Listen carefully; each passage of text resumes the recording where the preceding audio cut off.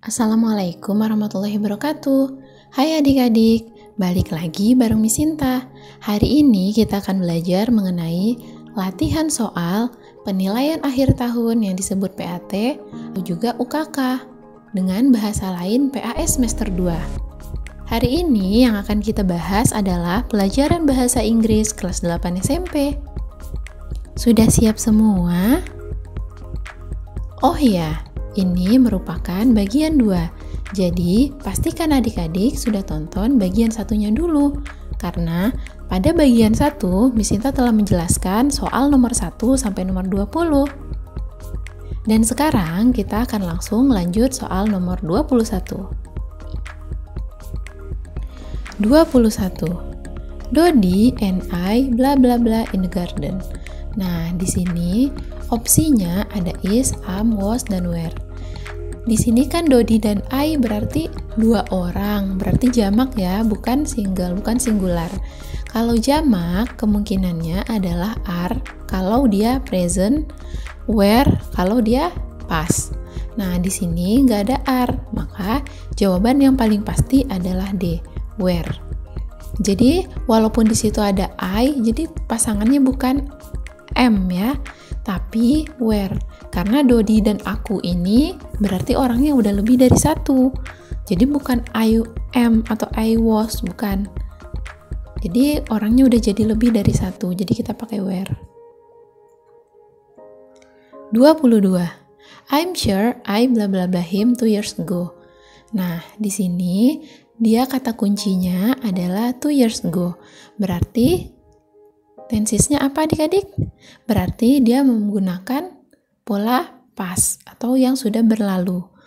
Untuk yang sudah berlalu, maka verb satunya atau kata kerjanya menggunakan kata kerja bentuk kedua, bukan bentuk pertama lagi. Di sini kan maksud dia adalah aku yakin, aku melihatnya dua tahun yang lalu gitu. Melihat kan harusnya sih, tapi ketika dia pas, dia telah berlalu, kita menggunakan bentuk kedua. Bentuk kedua dari si adalah saw, maka jawabannya adalah B.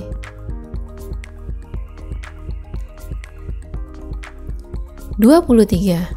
Were you at the beach last weekend? Apakah kamu di pantai akhir minggu lalu?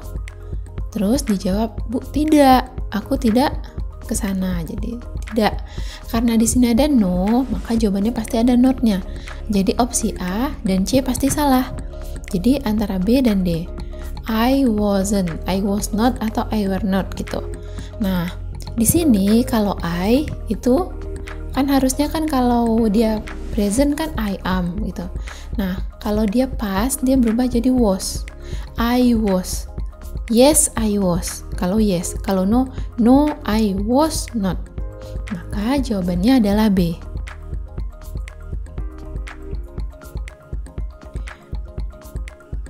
Dua puluh empat. Dialog ini untuk soal nomor 24 dan 25.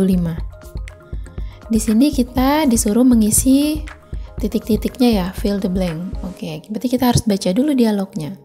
Susan nih nanya ke Desi ya, Where were you at 10 o'clock? Jadi kamu di mana waktu jam 10?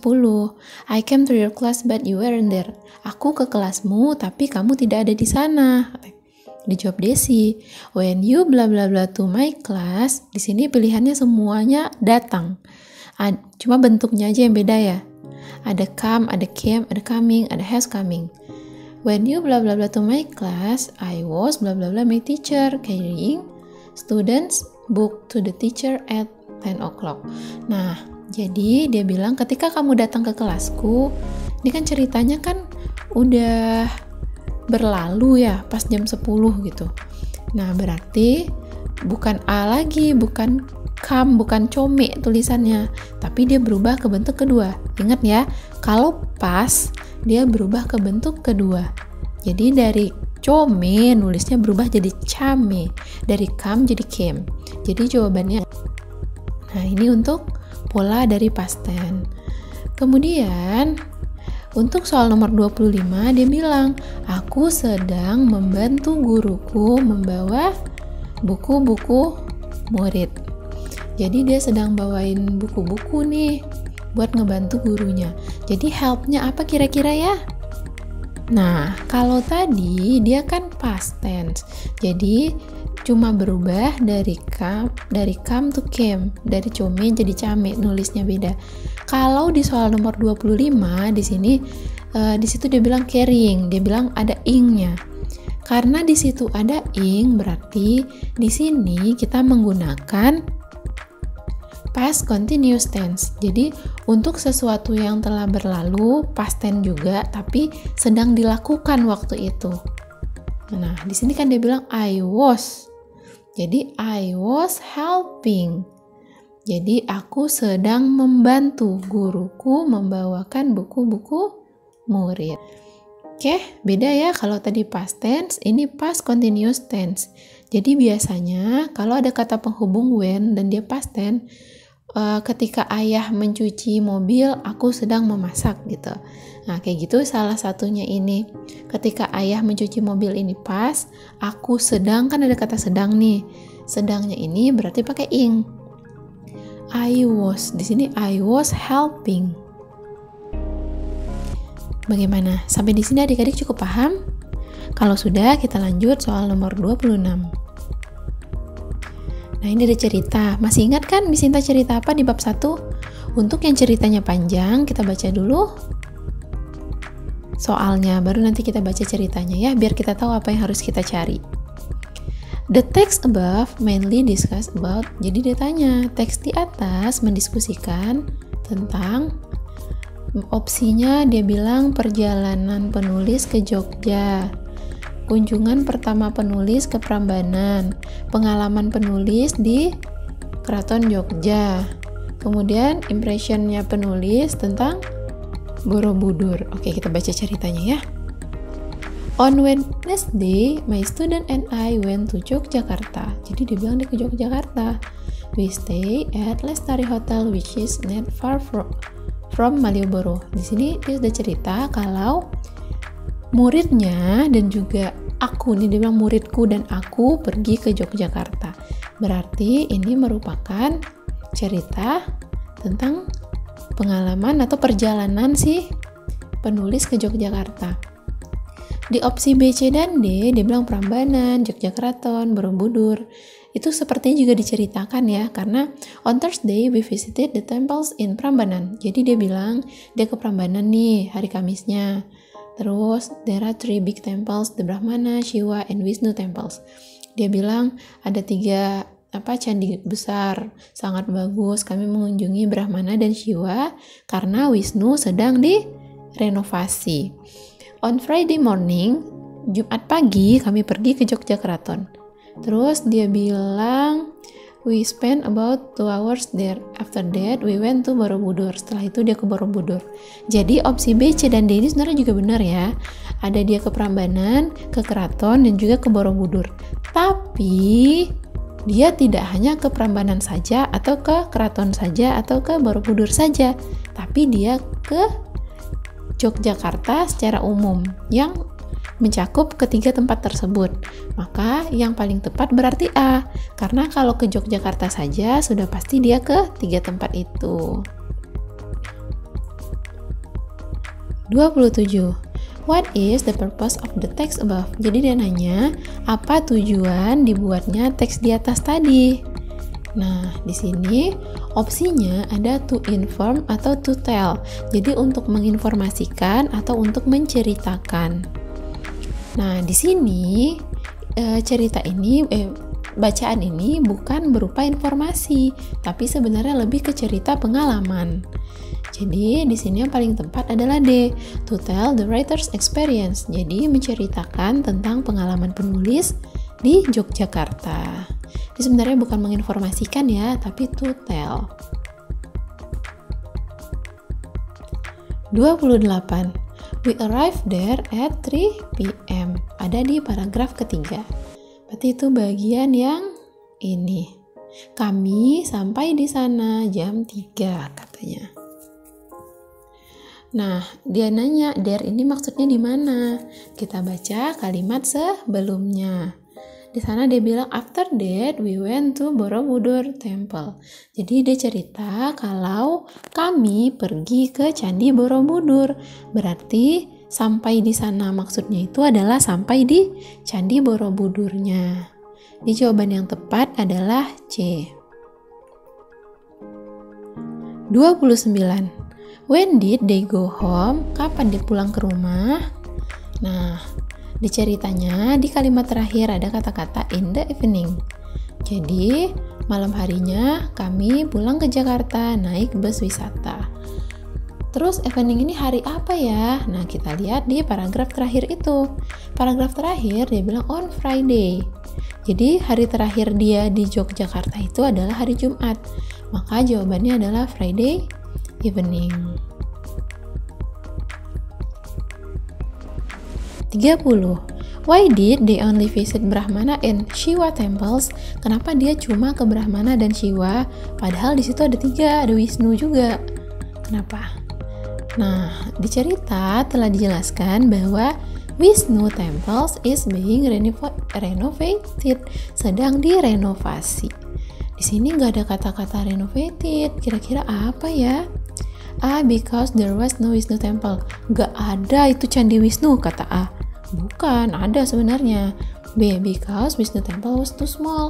Nggak dijelasin ya kalau ternyata Wisnu itu kecil. Yang C, Candi Wisnu itu was being repaired. Nah, repair ini adalah kata lain dari renovated. Artinya sama ya, sama-sama diperbaiki. Jadi, direnovasi atau diperbaiki bisa menggunakan kata renovated ataupun repaired. Jadi, jawaban yang tepat adalah C. Kalau yang D ini destroyed. Kalau destroy ini berarti dihancurkan. Enggak ya. Candi Wisnu tidak dihancurkan. 31. What should we do after reading the notice? Oke, di situ dia bilang flush toilet after using. Jadi dia bilang siram setelah digunakan. Berarti tujuannya adalah A. Keep the toilet clean memastikan atau menjaga agar toiletnya bersih. B. Toilet sedang diperbaiki. C. Gunakan toilet lain. D. Jangan gunakan toilet. Bilang siram setelah digunakan berarti agar toiletnya bersih. Jadi jawaban yang tepat adalah A. 32. Where do you probably find di mana kita menemukan peringatan ini katanya. A di classroom, B di park, C di restroom, D di office room.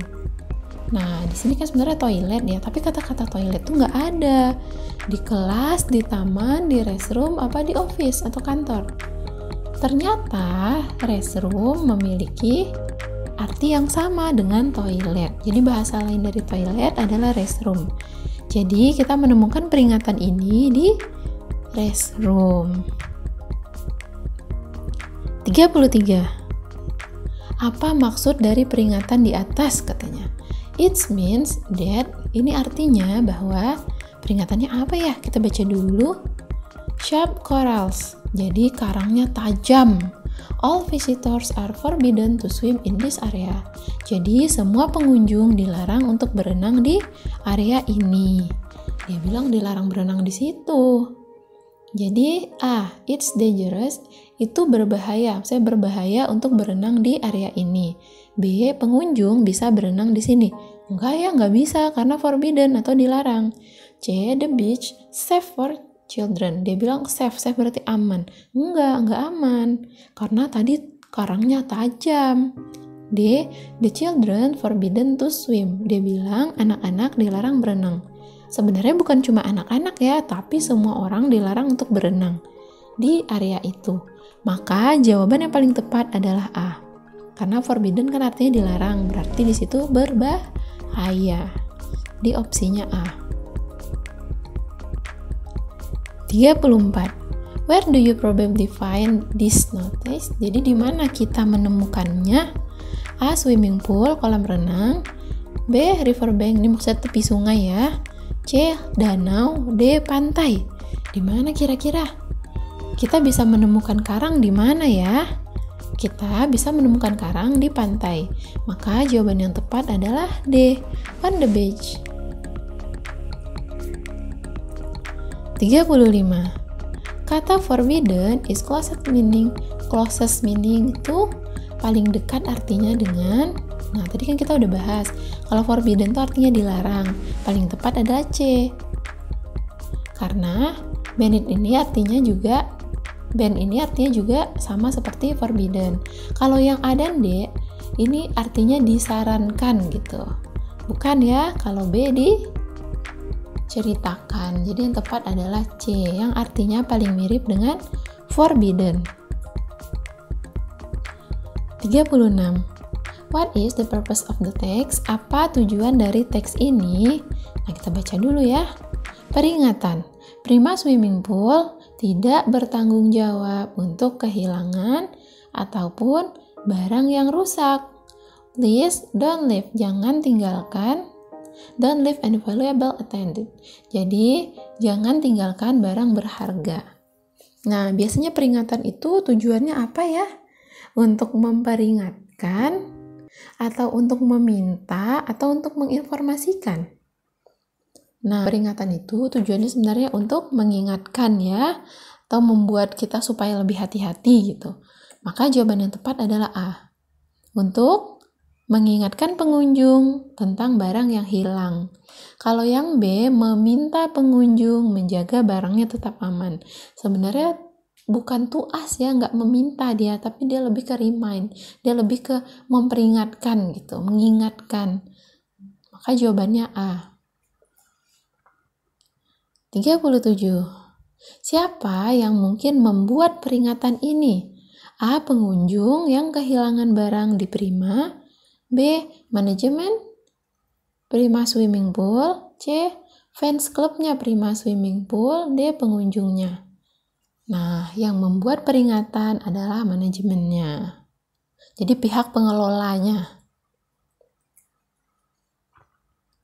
38. Ini ada lagu ini ya. Ini liriknya, kita baca ceri kita baca pertanyaannya aja dulu. What is the title of the song? Apa judulnya?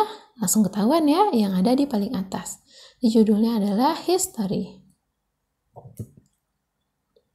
39. Who is sing a song? Siapa yang menyanyikan lagu?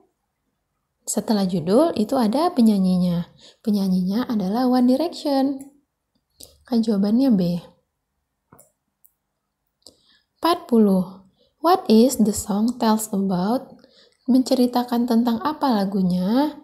Nah, karena dia bertanya tentang isi lagu, maka mau nggak mau harus kita baca ya lengkap-lengkap agar kita tahu cerita dari lagunya. Oke, okay, you gotta help me, I'm losing my mind. Keep getting the feeling you when I leave this all behind. Jadi, aku pikir bahwa kita akan kuat. Aku pikir kita akan lalu bergandengan. Tidakkah kita? No, they don't teach you this in school. Now, now my heart's breaking and I don't know what to do. Thought we were going strong. Thought we were holding on, aren't we? You and me got a whole lots of history. We could be the greatest team. Dia menceritakan di sini dia uh, dia lagi punya temen nih. Dia kira kita tuh bakalan terus-terusan bareng gitu. Uh, aku kira kita akan kuat gitu katanya. Kamu dan aku telah membuat sangat banyak cerita sejarah gitu cerita lah kenangan. We could be the greatest team. Kita bisa menjadi tim yang hebat dan apa dari dunia yang pernah kita lihat. So don't let it go. We can make some more. We can live forever. We can live forever. Oke di sini dia bilang kita bisa temenan bareng-bareng selamanya gitu. Jadi ini ceritanya ternyata lebih ke tentang friendship. Jadi jawabannya adalah A. It's about the story of friendship. Jadi perasaan seseorang kepada temannya gitu. Dia berharap bisa temenan terus. Nah, adik-adik, kita telah mengerjakan 40 soal PAT Bahasa Inggris kelas 8. Bagaimana? Sampai di sini adik-adik sudah paham? Terima kasih ya telah belajar bareng Miss Sinta. Sekali lagi, Miss Sinta mohon maaf jika ada penyampaian atau pronunciation yang kurang tepat. Karena ya, bahasa ibu Miss Sinta kan bukan bahasa Inggris ya. Jadi pasti ada saja yang kurang tepat. Tapi untuk jawabannya, insya Allah Miss Sinta sudah memastikan bahwa jawaban yang jawab itu benar menurut pendapat Miss. Nah, adik-adik, jangan lupa ya like, comment, subscribe, dan juga nyalakan loncengnya agar adik-adik tahu ketika Miss Sinta upload video baru. Kalau begitu, Miss Sinta pamit ya. Sampai jumpa lagi di pelajaran lainnya. Bye adik-adik.